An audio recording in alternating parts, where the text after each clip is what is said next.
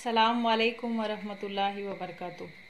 Dear students, our one question from 2.2 practice set is remaining and in that 2.2 practice set question number 3 is represent rational numbers root 5 and root 10 on number line. Okay. So see how to represent this root 5 and root 10 on number line.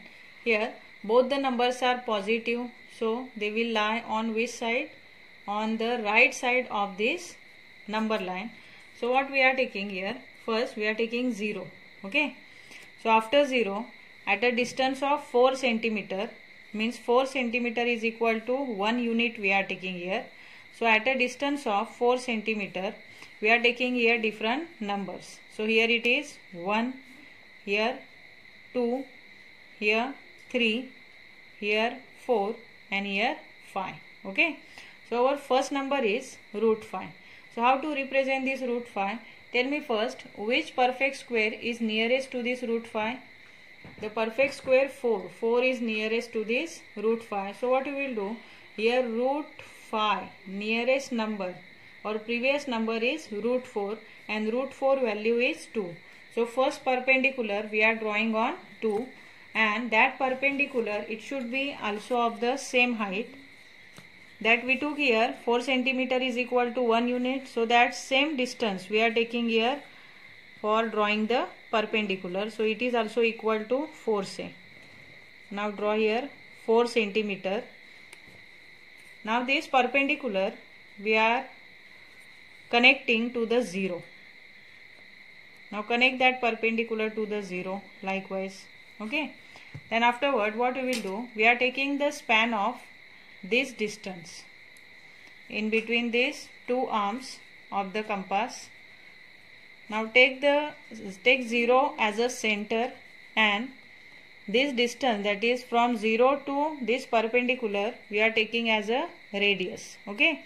And now we are drawing one arc which is to the right side of this perpendicular followed now here see root 4 means root 2 means sorry 2 means root 4 so here say 2 is equal to root 4 and the next number which will lie after root 4 is the root 5. Means it is our root 5. Understood? Now likewise we will draw next number which is root 10. So which perfect square is nearest to this 10 or which is the previous root? For this 10 it is root 9 and we know that root 9 value is 3. So to draw this root 10 we are drawing our perpendicular on 3.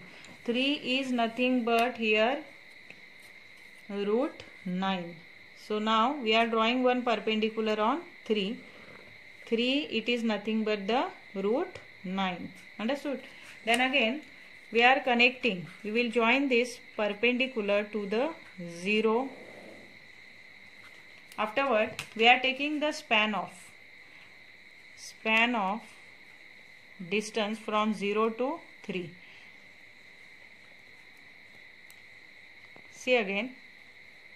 Here 0 is a center and we are taking uh, radius of radius of which distance? Distance from 0 to second perpendicular. Here second perpendicular is on 3 and now take this